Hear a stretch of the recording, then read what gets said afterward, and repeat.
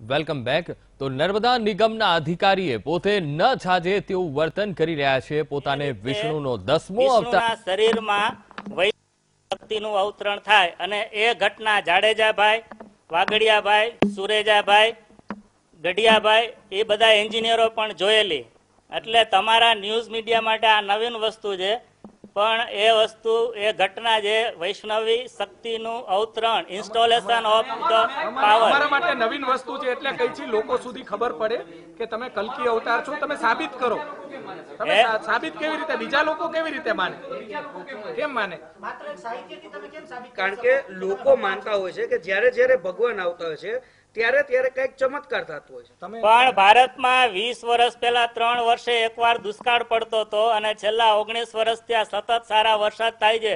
એ જ કલ્કી અવતારનું પહેલું પરિણામ છે. વૈજ્ઞાનિક વૈજ્ઞાનિક રીતે તમે નથી જોતા એને? વૈજ્ઞાનિક રીતે અમેરિકાના વૈજ્ઞાનિકો એનું સંશોધન નથી કરી શકતા કે જે દેશમાં દર ત્રણ વર્ષે દુષ્કાળ પડતો હતો એ દેશમાં સારા વરસાદ કેમ થાય છે? કારણ કે વિજ્ઞાન છે ને, એ ઇલેક્ટ્રોન, ન્યુટ્રોન અને પ્રોટોનની બિહેવિયર પેટર્નનું જ્ઞાન છે. અને ઇલેક્ટ્રોન, ન્યુટ્રોન, પ્રોટોન જેમાંથી બનેલા છે ને એ ચિત્તી શક્તિનું જ્ઞાન અધ્યાત્મમાં આવે. અધ્યાત્મ જે સોફ્ટવેરનું જ્ઞાન છે અને વિજ્ઞાન છે એ હાર્ડવેરનું જ્ઞાન છે.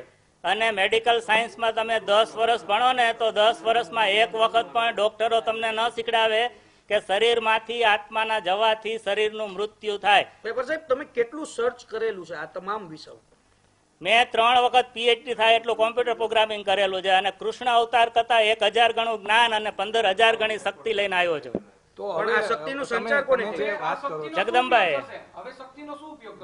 જય થશે અધર્મનો નાશ થશે વિશ્વનું કલ્યાણ થશે. ક્યારે થશે? ક્યારે? એ થઈ જ રહ્યું છે. ભારત દેવ ભૂમિ હતી ભારત દેવોની ભૂમિ હતી એટલે કલિયુગમાં વિશ્વના બધા એકસો ત્રેપન દેશમાંથી હિન્દુસ્તાન એક જ એવો દેશ હતો જે છેલ્લા એક હજાર વર્ષથી સતત ગુલામ રહ્યો. નહીં, આ પેપર દેશ- સાહેબ આપણા દેશની અંદર પેપર આતંકવાદી કલ્કી- પ્રવૃત્તિઓ. કલ્કી આપણા અવતાર દેશની લીધો અંદર છે આ રીતે જે અસામાજિક પ્રવૃત્તિઓ થાય છે. તો એને શકો અવતાર કેમ રોકી નથી કેમ શકતો? ફાયદો અવતાર રોકી કેમ નથી શકતો? ઓગણીસો સિત્તાસી માં ભારતે પિસ્તાલીસ ટન સોનું લંડન ગીરવી મૂકવા જવું પડ્યું હતું ત્યારે આપણી પાસે બે જ દિવસ ચાલે એટલું વિદેશી ઊંડિયામણ હતું.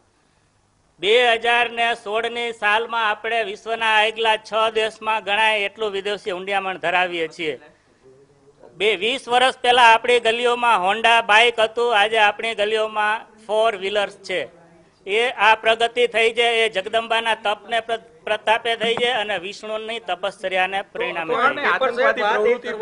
આજે થાય છે એને કેમ તમે રોકી કેમ નથી શકતા? પેપર સાહેબ જે પ્રવૃત્તિઓ થાય છે.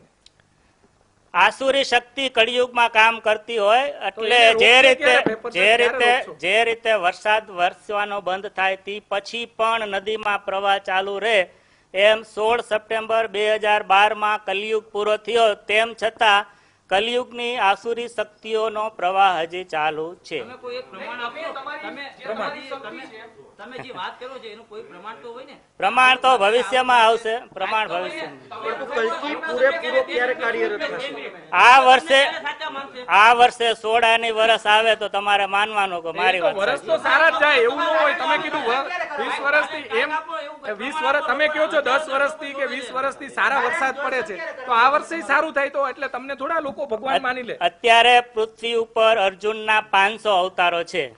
એમાં સાંભળો પેલા તમે તમારી રીતે વાત ના કરો. હું ભગવાન તરીકે વાત કરું છું. ભગવાન છે. તમે હવે ભૂલી જાઓ છો. તમે છે ને ન્યૂઝ એલિમેન્ટ તરીકે મને ના, ના, ના, ના. ના, જોવે લોકો જોવે છે છે.